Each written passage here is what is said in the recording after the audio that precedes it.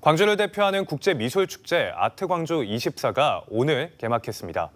국내외 갤러리들이 역대 최대 규모로 참여한 이번 행사는 나흘 동안 이어지는데요. 특히 올해는 지역 미술계와의 협업을 강화해 더욱 주목받고 있습니다. 신민지 기자입니다.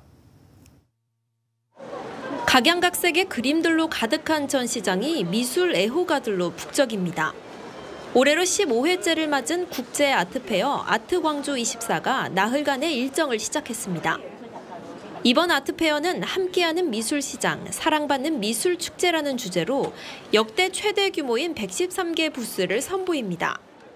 작년보다도 훨씬 더 규모가 크고 훨씬 좋은 작품들이 많이 전시됐습니다. 4,400여 작품이 전시가 됐습니다. 특히 지역 컬렉터들의 소장품을 소개하는 프로포즈전과 젊은 작가들의 작품을 소개하는 rising star전 등이 주목을 받고 있습니다. 스페인과 이탈리아 등 국외 갤러리 10곳도 다양한 화풍의 작품을 선보이며 신선한 매력을 더하고 있습니다.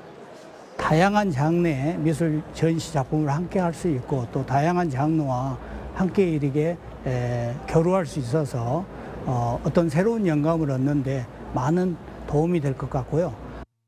일반 관람객들을 위한 문화 클래스와 체험 부스도 마련돼 누구나 부담 없이 즐길 수 있습니다. 평소에 볼 수 없는 그런 작품들을 많이 볼 수 있고 접할 수 있어서 참 그런 좋은 그런 계기가 된 것 같습니다. 이런 기회가 많이 있었으면 좋겠습니다.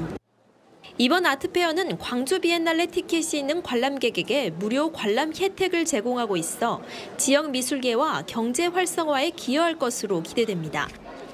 호남 최대 국제 아트페어인 아트광주 24는 오는 13일까지 광주 김대중 컨벤션 센터에서 만나볼 수 있습니다. KBC 신민지입니다.